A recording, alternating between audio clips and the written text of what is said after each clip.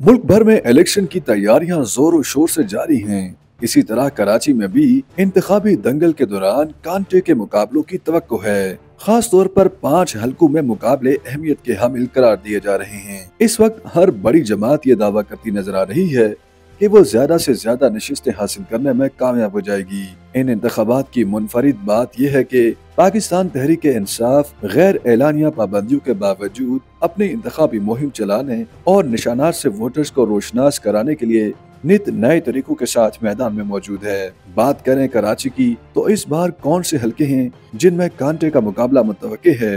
कराची में कौमी असम्बली की 22 नशस्तों के लिए पाँच सौ बयासी उम्मीदवार मध्य मुकाबिल होंगे।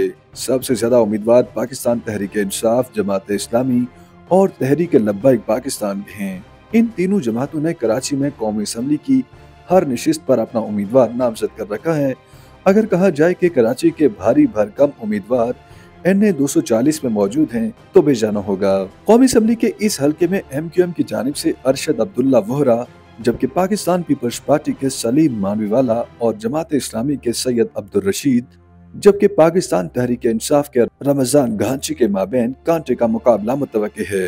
कराची का एक और हल्का जहाँ हाई वोल्टेज मुकाबले की तो की जा रही है, वो है एन ए दो सौ इकतालीस, जहाँ मुतहदा कौमी मूवमेंट के डॉक्टर फारूक सत्तार, पाकिस्तान तहरीक इंसाफ के खुर्रम शेर जवां और पाकिस्तान पीपल्स पार्टी के मिर्ज़ा इख्तियार बेग के दरमियान सख्त मुकाबले की तो ज़ाहिर की जा रही है। एन ए दो सौ बयालीस कराची का वो हल्का है, जहाँ से सबक वज़ीर आज़म शहबाज शरीफ ने भी कागजात नामजदगी जमा तो करवाए हैं, लेकिन फिर वो वापस ले लिए।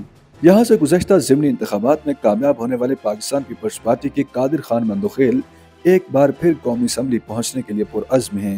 इस हल्के से उनके मदमुकाबिल एम क्यू एम के मुस्तफ़ा कमाल, मुस्लिम लीग नून के गुलाम शोएब और पाकिस्तान तहरीक इंसाफ के दवा खान हैं। इन चारों उम्मीदवारों के बीच भी कांटे के मुकाबले की उम्मीद ज़ाहिर की जा रही है।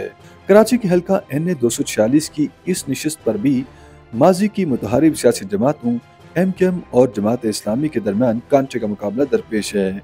कराची की सियासत से जुड़े दो अहम नाम एम क्यू एम के सैयद अमीन हक और जमात इस्लामी के हाफिज नईम और रहमान दोनों कराची के इस हल्के से जीतने के लिए पुरज़म हैं। माहरीन के मुताबिक पाकिस्तान तहरीक इंसाफ के उम्मीदवारों को बल्ले के इंतबी निशान के बगैर इलेक्शन लड़ने से फ़र्क तो पड़ेगा। एक राय के मुताबिक इसका फ़ायदा जमात इस्लामी और एम क्यू एम दोनों उठा सकते हैं। लेकिन साथ ही ये उम्मीद भी ज़ाहिर की जा रही है की कराची के अवाम मुल्क के दीगर हिस्सों से ज़्यादा बाशूर और पढ़ी लिखी है। लिहाजा इंतबी निशान की तब्दीली शायद कराची के बैलेट पेपर्स पर इतना असरअंदाज न हो सके।